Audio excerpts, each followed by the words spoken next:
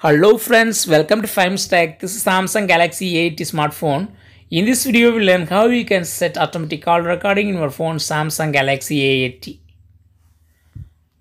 First of all, click on phone icon here and in the top of your phone, just click on these three dots and here click on settings.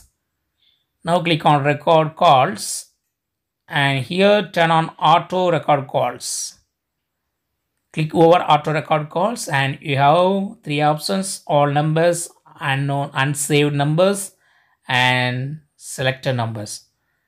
First i set in all numbers so all incoming and outgoing calls will be recorded. See here i am going to receive a call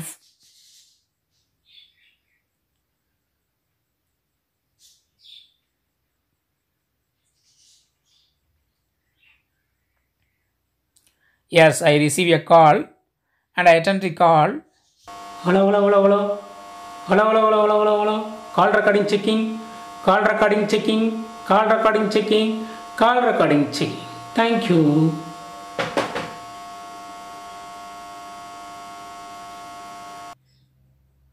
I got the call. This call has been recorded and you can see it in settings of our phone. Just click on the same settings and click recorder calls and this is a file of call record. Just play this file.